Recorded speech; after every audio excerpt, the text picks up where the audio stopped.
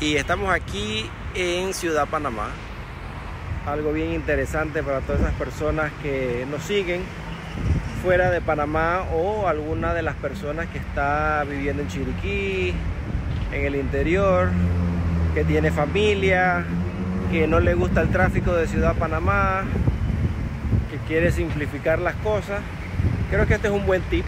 Este, este hotel aquí, el Marriott Courtyard, pegado al Multiplaza, aquí mismo en el centro de Panamá.